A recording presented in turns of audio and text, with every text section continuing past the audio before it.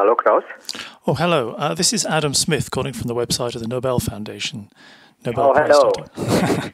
hello. Well, many congratulations on the award of the Nobel Prize. Thank you.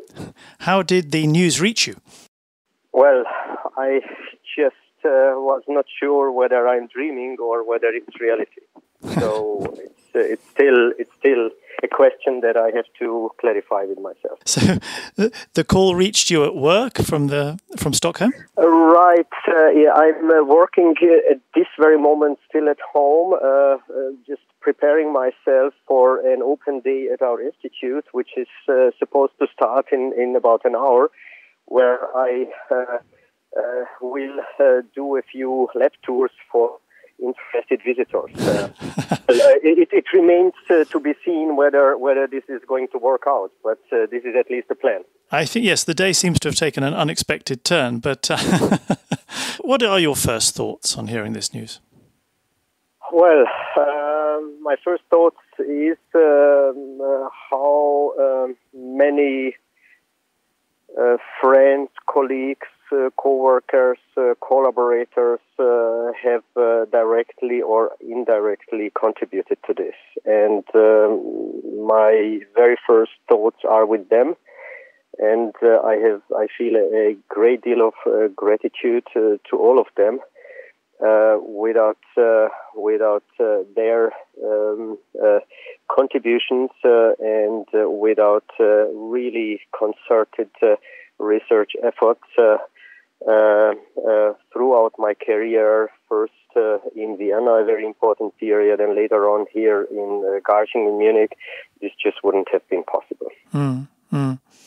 And you're the second Hungarian um, to be awarded the prize this week so far.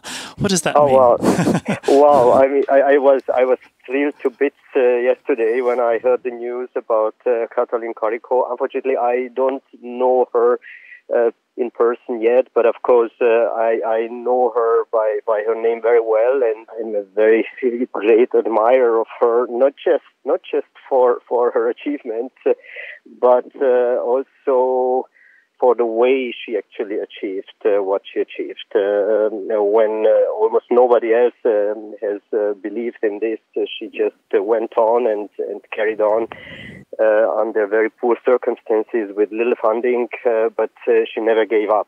I think I think this message is almost as important as, as the, the actual achievement. Exactly, it's such a hopeful message that perseverance pays off and the, yesterday she was saying how important it is not to be distracted by all the things you can't change, but just to focus on what you can do. Absolutely, uh, this is this is uh, really a great uh, great saying, and and I, I uh, couldn't agree more with it. well, well, no doubt the two of you will meet very soon. So isn't it nice that the Nobel Prize becomes a way to make new friends? oh, I, I'm very much looking forward to that. Of course, I very much look forward to to, to that uh, for many reasons, but uh, in this particular case, also for this particular reason, to to be allowed to to meet her mm. in person. Just very briefly.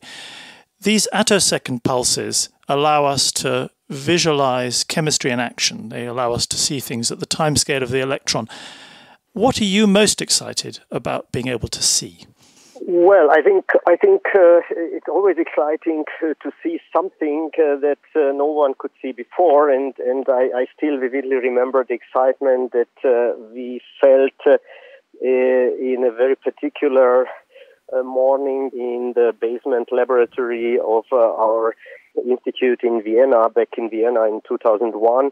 Uh, when we, we, first indeed uh, could uh, resolve uh, electron dynamics uh, that evolved within the oscillation period of visible light. So this was this was a, a just an, an unbelievable moment, which we think I will never forget just this very capability of actually being able to to observe uh, these uh, motions, which uh, which are really the fastest outside the atomic core that occur in nature.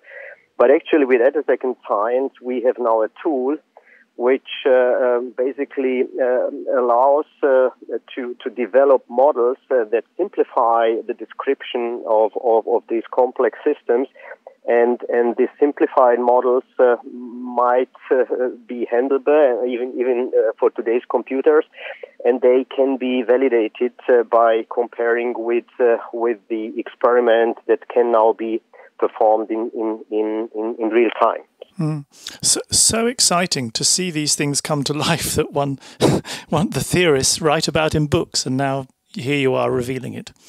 Well, well, it's been a great pleasure to talk to you, and congratulations again.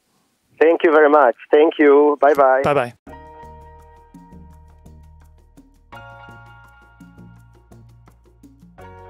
If you enjoyed hearing this call, don't miss our bonus episode where Adam Smith takes a turn as guest and we go behind the scenes from these very special moments.